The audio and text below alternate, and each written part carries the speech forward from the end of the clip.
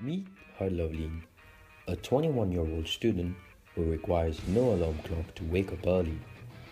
Packed with energy from the moment he leaves bed, admire as this health icon multitasks his way through the day. He manages to satisfy his intellectual hunger while simultaneously curling those huge biceps. Harloveleen enjoys the benefits of being healthy, which he reaps on a social, physical, and mental level.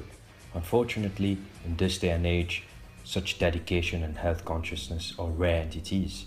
The current trend skews towards a different lifestyle, epitomized by another 21 year old student.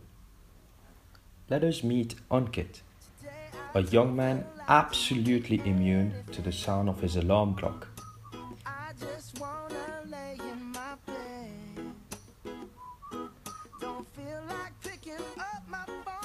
Finally wakes up, notice how his first reflex is to grab his bottle of soft drink. Sorry, Ankit, it's empty. The walk from the bed to the bathroom is probably his only form of exercise. However, Ankit does showcase loyalty in respect to video games and food. His routine consists of virtual activity, followed by eating. Some more food, and then back to video games.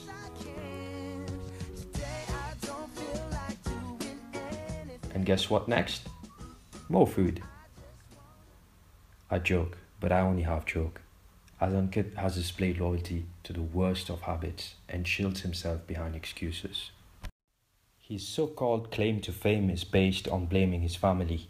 But Ankit, what if I told you that obesity runs in your family because nobody runs in your family?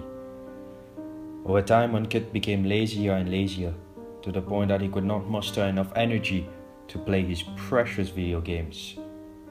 And that was coupled with a constant urge to go to the toilet. To add insult to injury, our protagonist could not perform mundane tasks, such as climbing a flight of stairs. He even started suffering from some blurring of vision.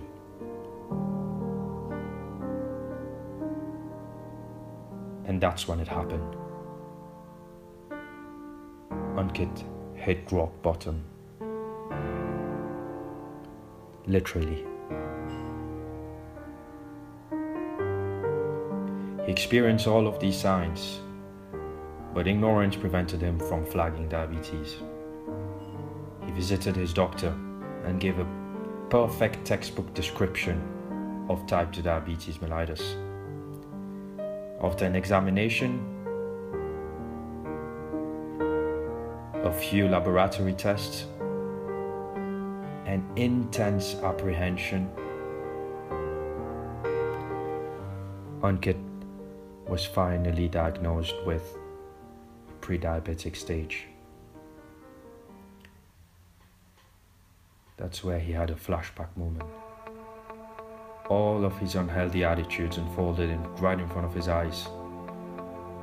And this was a wake up call, a major wake up call. It was time to stop, time to turn his life around. All hail the new Ankit,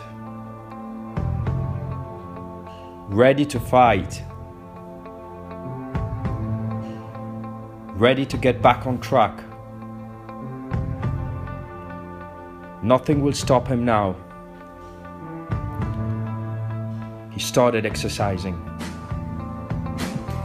any day, anytime, anywhere. He just would not stop.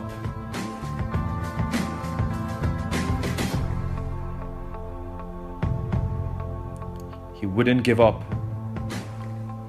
No excuses. He could now perform those impossible tasks with absolute sense of confidence and achievement. Even his eating habits became more polished. He learned to resist temptation and indulge only in healthy options. Well done, Ankit. We are proud of you. But this begs the question if he can do it, what's your excuse? Whether you're a Harloveleen or Ankit, diabetes may affect any of us. Let's fight it together.